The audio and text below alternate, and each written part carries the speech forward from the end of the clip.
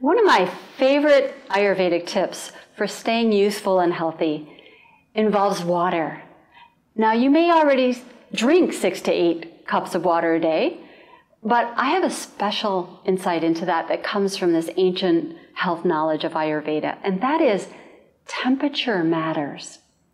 Now, perhaps you're drinking the water room temperature. Well, that's much better than drinking it cold all the time because cold suppresses digestion and cold also impedes the flow or peristalsis through the digestive tract. So, hot water, it turns out, is the most health producing for improving digestion, clearing the skin, helping the elimination.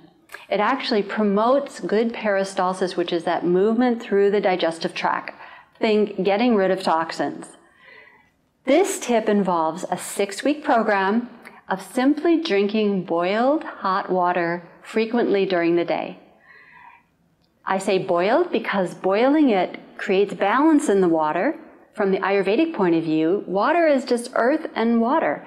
But if you boil it, you get air, space, and fire elements. So you have a balance of all five elements. So boil the water for five minutes. It'll be more cleansing and balancing for your body. Then pour it into a thermos, and then you're going to drink just a little bit about every half hour. That can be according to your taste or desire, but at least a few sips, up to even a half cup at a time.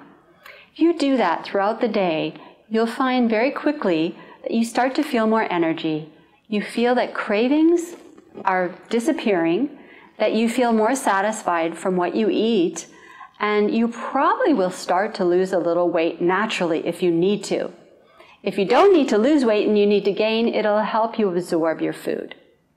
In fact, I had a patient who I recommended this to, and I ran into her about a year later and I saw her from behind. I didn't recognize her. I thought it was some young woman with some pigtails. She turned around and I said, Susan, you lost some weight.